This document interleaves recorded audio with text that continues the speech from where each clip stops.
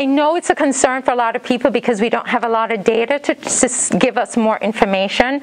Um, I would say more data to come, but I mean, right now we go on the information that it's safe and we'll follow the studies going forward.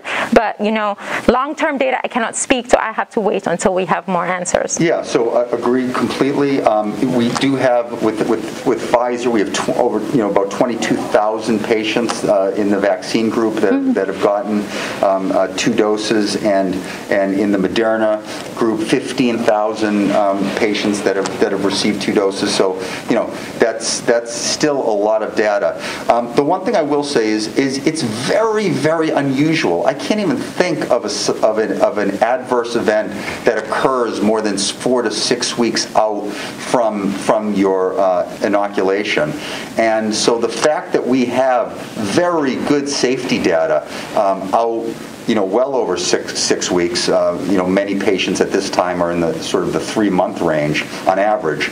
Um, I think that bodes very well for the future of this. And just a reminder of, of how this works. You get the shot in your arm.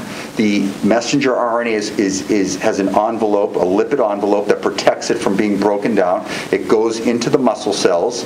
It doesn't even go into the nucleus. That's really important. Yes. So, you know, we're, we're, not worried about sort of genetic mutations yes. and this is going to you know, cause us to, you know, grow a, a horns or yeah. something like that.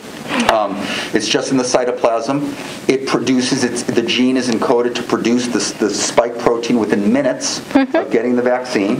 Uh, the spike protein is taken by cells called dendritic cells that basically bring uh, the spike protein into the axillary lymph node. Mm-hmm. And in the lymph node, it activates B cells and T cells to create antibodies that go out into the bloodstream, and that's what leads to ultimate protection if and when we're exposed to COVID 19 in the future.